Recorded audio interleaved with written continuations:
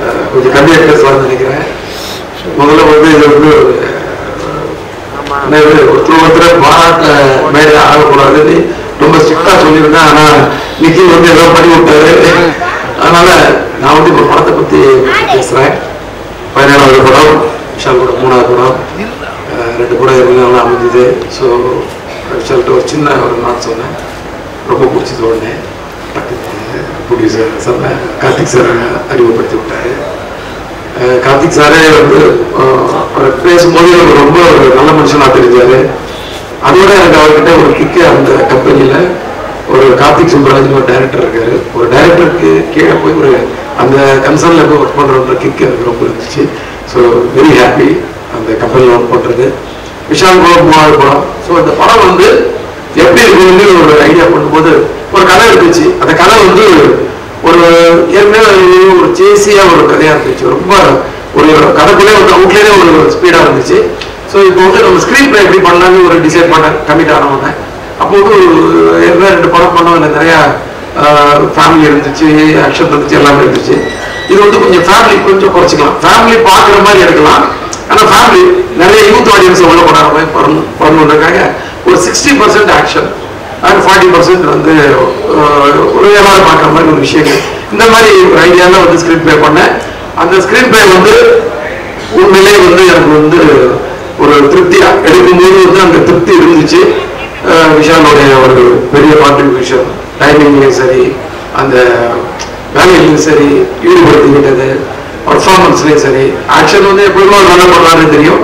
ஆனால் ஒரு emotional performance உண்மையிலே கண் கலக்கிற மாதிரி ஒரு ரெண்டு மூணு நீங்க பாத்தீங்கன்னா தாமிர பாத்தீங்கன்னா எண்ணில் வந்து ஒரு நேரம் இருக்கும். அதாவது காயப்படுத்தினவனுக்கு காயம் ஆடுற வரைக்கும் வலி ஆனா கா- காயப்பட்டவனுக்கு காயம் ஆடுற வரைக்கும் வலி ஆனா காயப்படுத்தினவனுக்கு காலம் பூரா வலின்னு சொல்லி மனசு வலிக்கிருப்பாமான்னு சொல்லி அவர் கண் கலக்கும் போது மொத்த ஆடியன்ஸுமே வந்து ஒரு ஃபீல் பண்ணாங்க. எனக்கு அது எப்பெல்லாம் பார்த்தாலும் அடிக்கிற படம் அப்படிங்கிற ஓடிட்டு இருக்கும்.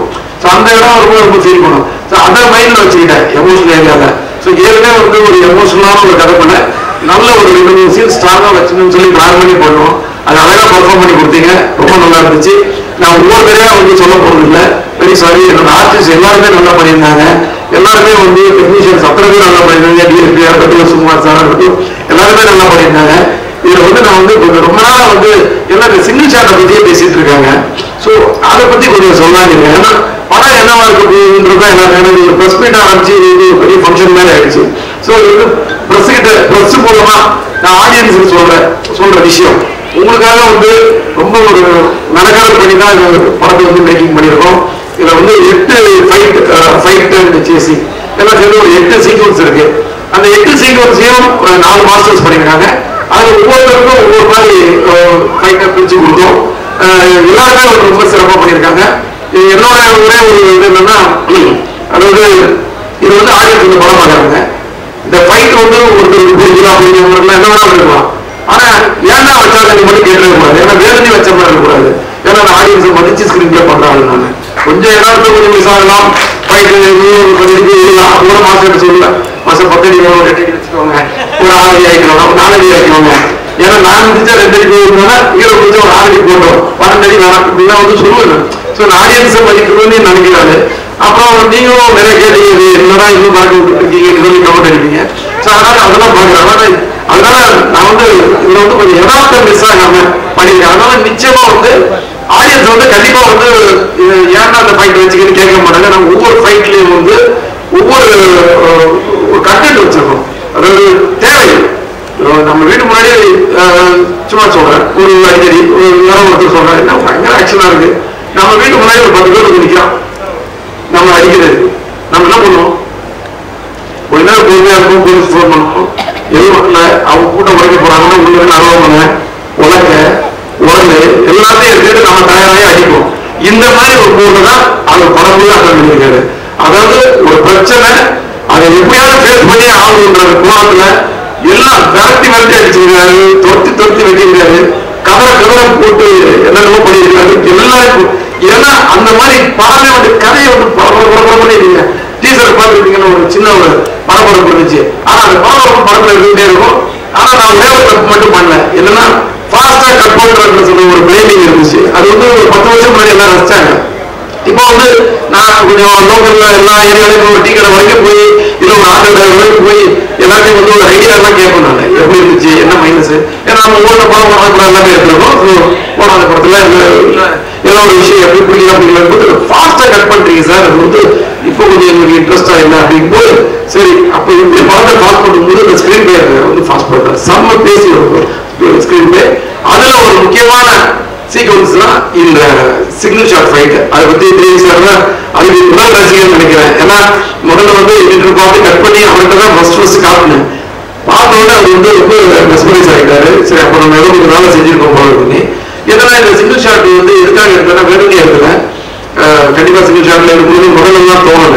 அந்த ஸ்கிரீன் பிளே பண்ணி ஒவ்வொரு ஃபைட் ஒவ்வொரு மாதிரி எடுத்துட்டு வரும்போது இது வந்து ஒரு சீன் ஒன்று ஆரம்பிச்சு அந்த சீன் வந்து அப்படியே ஃபைட்டா கன்வெர்ட் ஆகி அந்த ஃபைட் சேசிங்கா மாறி அது ஒரு மூணு வண்டி பிளாஸ்ட் ஆகி நாலாவது வண்டி துரத்திட்டு வரும்போது இந்த ஹீரோ ஹீரோயின் போற அந்த வண்டி வந்து ஒரு ஃபாரஸ்ட்குள்ள போய் அது வந்து டிசப்பியர் ஆகும்போது அந்த கடைசியா துரத்திட்டு வந்த வண்டி கூட அந்த ஃப்ரேம்ல போயிட்டு இருக்கணும்.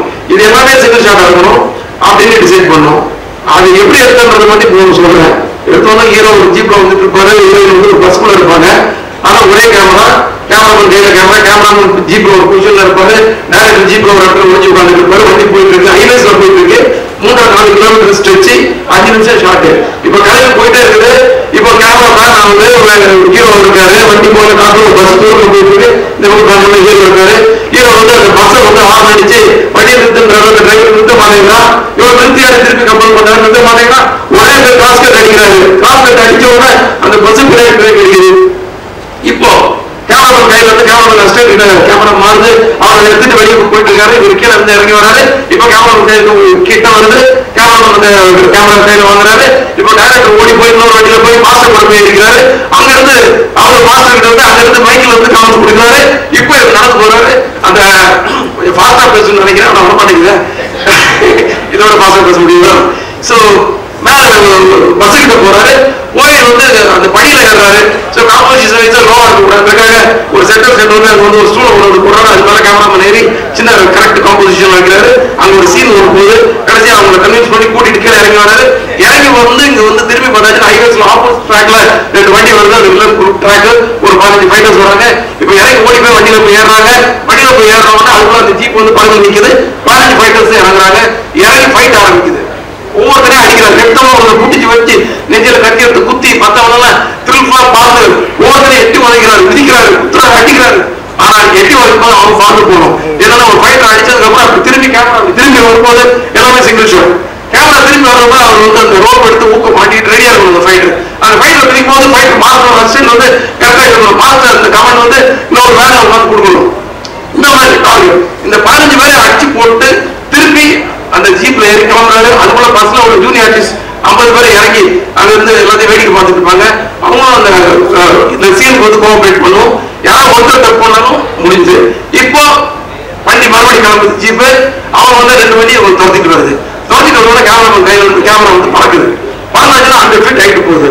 போயிட்டு இருக்கும்போது கடைசியாக வந்து வண்டி ஜீ ரெண்டு வண்டி இந்த வண்டியை துரத்திட்டு போகும்போது கரெக்டாக ஹைட்டே டென்ஷன் உயரத்துல வந்து நூறு மீட்டர் கிட்ட உயரத்தில் வந்து ஒரு கேமரா போட்டு டம்மு கீழே வந்து உடஞ்சிருது கேமரா அப்படியே கட்டு அதுக்கப்புறம் இன்னொரு கேமரா ஹீரோ சேம் ப்ராசஸ் அதே ப்ராசஸ்ல இப்போ திருப்பி அந்த ஒயரோட ஹைட்டை மெஷர் பண்ணி eighty feet ஹைட்ல hundred feet hundred feet hundred feet கிடையாது ஹண்ட்ரட் ஃபீட் எயிட்டி ஃபீட் ஹைட்ல அந்த கேமரா போயிட்டு இருக்குது. அங்க போயிருச்சுன்னா ரெண்டு வண்டி துரத்திட்டு போகுது. ஆப்போசிட்ல ரெண்டு வண்டி வருது இந்த வண்டியை பறிக்குது இந்த வண்டியை பறிச்ச உடனே நின்று அங்க வந்து வண்டி மூணு பின்ன போகுது. இந்த வண்டி குறுக்க வந்து வந்து வண்டி ஒண்ணு ஒண்ணு இடிக்குது. அங்க இருக்க ஃபைட்டர்ஸ் ஜிம்பாய்ஸ் எல்லாம் காலி ஏறி வண்டி மேல வந்து வெட்ட வராங்க. குத்த வராங்க டம்முட்டு கண்ணாடி உடைக்கிறாங்க. அது மீறி அடிச்சு தூக்கிட்டு இந்த வண்டி கிளம்புது இது கிளம்புறதுக்கு முன்னாடி கேமரா மேல இருந்து கேமரா கீழே வருது. கேமரா எப்படி கையில பிடிச்சாரு தெரியல. பிடிச்சிட்டு அங்கேயும் ஓடுறாரு. சுத்தி சுத்தி சுத்தி ஓடுறாரு.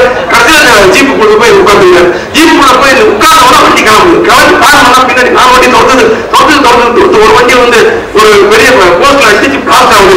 அது மட்டும் சிஜி பிளாஸ்ட் மட்டும் தான் சிஜி ஆனா ஷார்ட் கட் ஆகுது. அதுக்கடுத்து ஒண்ணு வந்து காவலாய் உள்ள ஒரு காவலாய் போய் ஒரு பிரிட்ஜுக்குள்ள போய் அந்த உள்ள கொண்டுச்சு சிஜி ஒன்று ஒன்று சென்டர் வந்து அடிச்சு நொறுக்கி அந்த வட்டி தீ பிடிக்குது. இதை தாண்டி அவர் எஸ்கேப் ஆகி போய் ஒரு ஃபாரஸ்ட் குள்ள போறாரு இந்த மூன்றரை கிலோமீட்டரும் எங்களுக்கு கண்ட்ரோல்ல வந்து அந்த ரோடு கிடைச்சிது. எல்லா டெக்னீஷியனோட சப்போர்ட் கிடைச்சது. விஷாலுடைய அந்த டெடிக்கேஷன் இது வந்து இதை சிங்கிள் ஷாட்டாக தான் எடுக்கணும் ஒரு பிடிவாதத்தோட நான் வந்து நிறைய பேர்கிட்ட பேசுனேன் நிறைய டெக்னீஷியன்ஸ்ல பேசுறேன். நிறைய பேர் ஸ்டிச் பண்ணிடலாம்னாங்க முடியாதுண்ணே சில பேர் வந்து ரொம்ப ராவாக இருக்கும் சார் நாங்கள் ராவாக தான் சார் வேணும் ஆடியன்ஸ் ரொம்ப ராவாக தான் ரசிக்கிறாங்க இப்போ.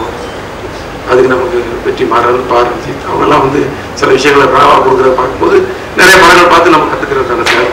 அதுக்கெல்லாம் எனக்கு நல்ல எனக்கு நல்ல இது இருக்கு. அது ஒரு அடையாளங்களுக்கு எனக்கு டேரக்டர்ஸ் இருக்கிறாங்க. நீங்கள் ஒரு ராவா ஒரு கண்டென்ட் கொடுத்தா ரசி நம்ம படமே கமர்ஷியல் படம் தான். ஏதாவது ஒரு ஒரு கண்டென்ட் கொடுக்கலான்னு. எல்லாத்தையும் போராடினேன் போராடி போராடி கடைசியில் எனக்கு கண்ணல் கண்ணன் மாஸ்டர் கிடைச்சாரு. நிறைய பேர் அவர் சொன்ன உடனே "மா சார் என்ன வேணாலும் பண்ணிடலாம். வாங்க சார். மாஸ்டர் அந்த ஃபைட்டை மட்டும் கம்போஸ் பண்ணி கொடுத்துருங்க. அடிச்சு முன்ன பின்ன நான் வச்சிருக்கேன். நீங்க உங்ககிட்ட சொல்ல நீங்க எடுத்துருங்க மாஸ்டர் ஸோ அவர் வந்து பண்ணிட்டாரு. ஸோ ஒரு மனவலியோட தான் அந்த வேலைக்கே போனோம் நாங்கள் ஏன்னா இது முடிஞ்சிருமா? புரியாதான்னு சொல்லி திருப்பதியில் ஷூட் போடுறோம். அப்படியே மலையை பார்த்து அப்படியே நின்றுட்டு இருந்தேன். நைட் பத்தரை மணிக்கு. அந்த லொக்கேஷனை பார்த்தேன்.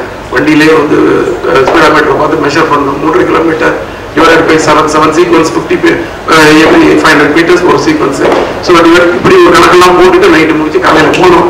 சார் வந்தார் பிளான் பண்ணோம் ஒரு நாள் ஃபுல்லாக இருக்கேன் சார் ரெண்டாவது நாள் மத்தியானம் மூணு மணிக்கு ஒரு டேக்கு அஞ்சு மணிக்கு அடுத்த டேக்கில் வந்து ஓகே ஆயிடுச்சு. ஸோ ஓகே ஆனதுக்கு தான் வந்து அந்த மன வலியும் அந்த பெயினும் வந்து போச்சு. ஏன்னா நம்ம நினைச்சதை சாதிச்சிட்டோம் அப்படின்னு ஸோ இதை நான் எதுக்கு இவ்வளோ டீட்டெயிலாக சொல்ல முடியும்? டைம் கூட நிறைய எடுத்துப்பேன்னா இந்த மாதிரி ஒரு விஷயம் இல்ல. படத்துல எல்லா விஷயத்திலையும் ஆடியன்ஸை மதிச்சு நாங்க நிறைய வேலைகள் செஞ்சிருக்கோம். அது வந்து நிச்சயமா உங்களை வந்து சந்தோஷப்படுத்தும் திருப்திப்படுத்தும் நினைக்கிறேன். வேற எதுவும் நான் பேச விரும்பல. இந்த வீடியோ உங்களுக்கு பிடிச்சிருந்தா லைக் பண்ணுங்க கமெண்ட் பண்ணுங்க ஷேர் பண்ணுங்க சப்ஸ்கிரைப் பண்ணுங்க.